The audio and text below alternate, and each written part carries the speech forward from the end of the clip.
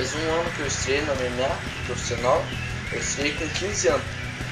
E todo mundo falava que eu não dava pra me lutar por causa da idade. Sempre eu peguei adversário mais velho e sempre ganhei. As oito lutas que eu, que eu lutei era tudo adversário mais velho e eu ganhei. E vou continuar ganhando. Aí no profissional nós tivemos 100 kg e daí fui subindo, lutei na 60, na 61 em 500, na 63, na 65, 66 e agora vamos mostrar na 70. Eu estamos treinando direto, estou treinando de manhã, de tarde, de noite, levantando, comendo bem, vamos subir de peso agora. Eu subi quase 5 kg nessas últimas semanas tá, tá bem preparado para essa luta aí. Então vamos ver, vamos. Se Deus quiser vamos voltar com a vitória pro Brasil. Tá contra o André Rodrigues aí, eu já conheço ele, já vi as lutas dele.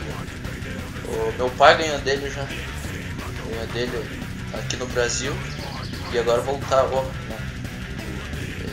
É, experiência legal pra mim, assim, porque eu já conheço os, o estilo. Eu, eu não sonho muito em lutar UFC, não.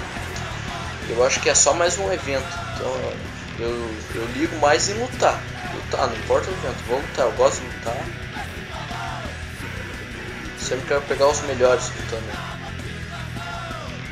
Agradecer aos patrocinadores, os amigos que estão me apoiando e aos alunos que sempre estão me ajudando a treinar aí pra, pra essa grande luta lá no Rio.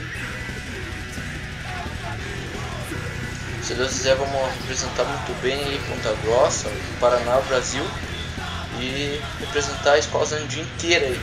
E vamos mostrar o nosso Muay Thai, o nosso boxe, o nosso Jiu-Jitsu. Muay Thai, Zandim,